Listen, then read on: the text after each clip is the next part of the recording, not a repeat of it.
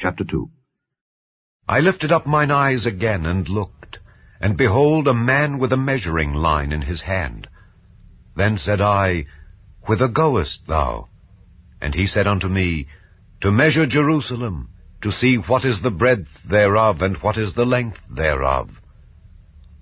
And behold, the angel that talked with me went forth, and another angel went out to meet him, and said unto him, Run, speak to this young man, saying, Jerusalem shall be inhabited as towns without walls for the multitude of men and cattle therein.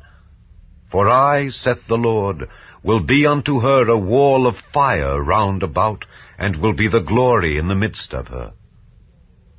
Ho, ho, come forth and flee from the land of the north, saith the Lord. For I have spread you abroad as the four winds of the heaven, saith the Lord. Deliver thyself, O Zion, that dwellest with the daughter of Babylon.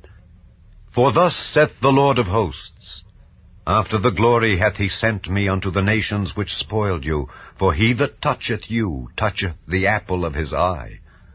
For behold, I will shake mine hand upon them, and they shall be a spoil to their servants, and ye shall know that the Lord of hosts hath sent me. Sing and rejoice, O daughter of Zion, for lo, I come, and I will dwell in the midst of thee, saith the Lord. And many nations shall be joined to the Lord in that day, and shall be my people, and I will dwell in the midst of thee, and thou shalt know that the Lord of hosts hath sent me unto thee.